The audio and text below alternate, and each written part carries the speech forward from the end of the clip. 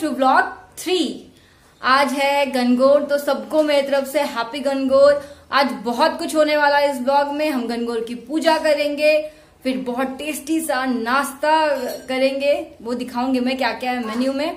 और उसके बाद हम बनाएँगे खजला।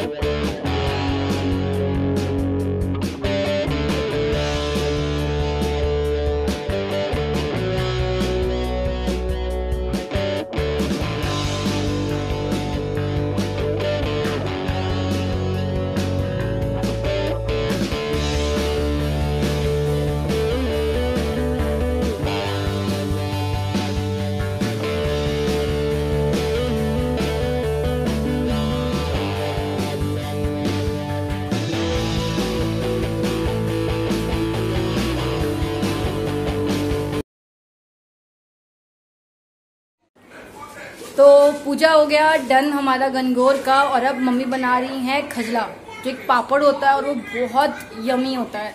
मतलब वो दिखता छोटा सा है, लेकिन जैसे आप तेल में डालोगे और वो एकदम बड़ा हो जाता है। जी हाँ मतलब गजब का होता है, गजब। देखिए मम्मी, अभी इसका डो बना रही है। डोनट जैसा बनेगा ये बेसिकली देखिए, ऐसा डोनट जैसा डो बनता है। फिर उसको इसमें बॉईल किया जाता है। मम्मी, कितने मिनट बॉईल करते हैं उसको? पंद्रह बीस मिनट। वो देख लेते हैं चाकू से, से। मम्मी क्या आप बताना चाहेंगे इसके बारे में कुछ कि कैसे बनता है? मम्मी क्वांटिटी इसमें एक किलो चावल के आटे में बीस ग्राम सोडा और चालीस ग्राम नमक पड़ता है। मिर्ची थोड़ी सी पड़ती है अपने स्वाद में जीरा एक चम्मच हींग थोड़ा सा और ऐसे करके मम्मी साबुदाना भी तो पड़ता है ना? साबुदाना एक किलो में पचास ग्राम अच्छा। तो आपको ये पापड़ बनाना बहुत पसंद है? पसंद है खिलाना भी पसंद है खाना भी पसंद मैं बताऊँ आपको फ्रेंड्स मम्मी को पापड़ बनाना बहुत पसंद है। और मम्मी हमेशा ही बहुत पापड़ बनाती है। और मम्मी को सच में खिलाना बहुत ज़्यादा पसंद है। तो चलिए अब मैं भी चलती हूँ थोड़ा मम्मी का हेल्प करने के लिए। और आप भी देखिए खजला कैसे तैयार हो रहा है। जैसे ये 15-20 मिनट बाद पक जाएगा, हम इसको निकालेंगे और इसका एक आटा तैयार करेंगे।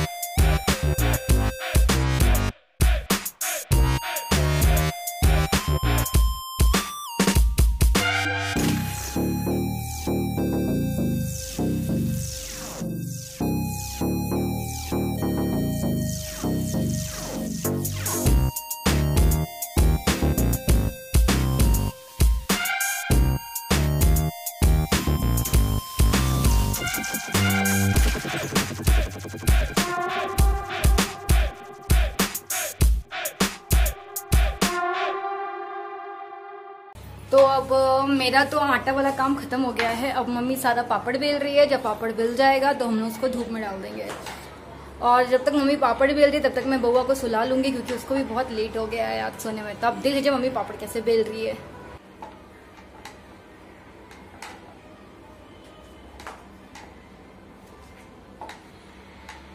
तो मम्मी के पापड़ बिल चुके थे। मैं आ, उसको जाके धूप में डाल दिए हैं हम।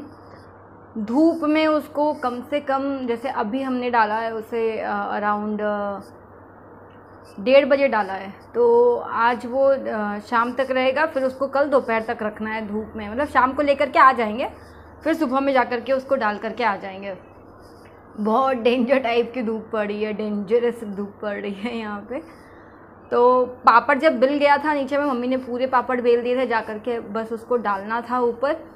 जब आप पहला लॉट डाल दोगे ना फ्रेंड जब लास्ट डालोगे, फिर आपको फ़र्स्ट से पलटना स्टार्ट करना है। वो एक कटोरी टाइप का बन जाएगा हल्का हल्का मुड़ जाएगा।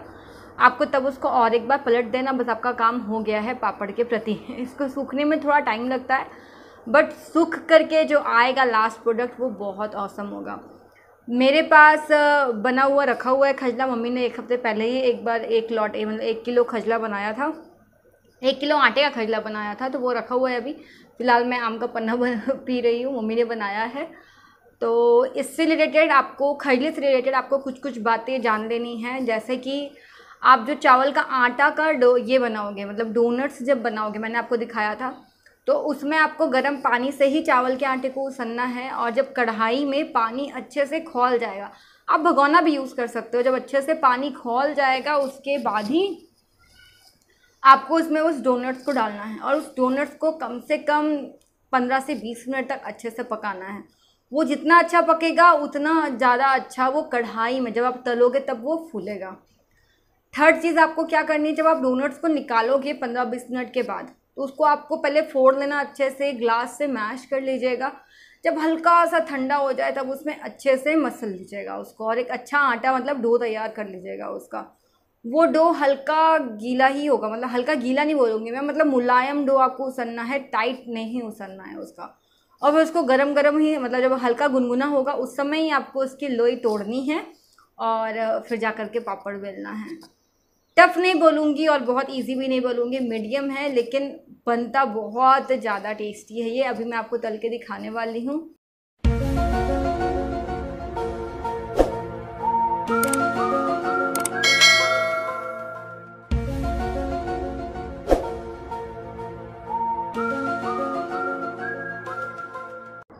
तो ये था मेरा आज का घनघोर ब्लॉग बोल लीजिए, या खजला ब्लॉग बोल लीजिए। चलिए, आप भी अच्छे से सेलिब्रेट कीजिएगा अपना घनघोर और खजला बना के ट्राई करिएगा। कैसा लगा मुझे बताइएगा कि अगर मुझे अपने व्लॉग में कुछ कुछ इन्हेंसमेंट करना है, कुछ इम्प्रूवमेंट करना है, वो भी मुझे ज़रूर बताइएगा। आपके रिप्लाई का, आपके कमेंट का मुझे वेट रहेगा। मिलती हूँ मैं आपसे अपने नेक्स्ट वीडियो में, तब तक के लिए टेक केयर बाय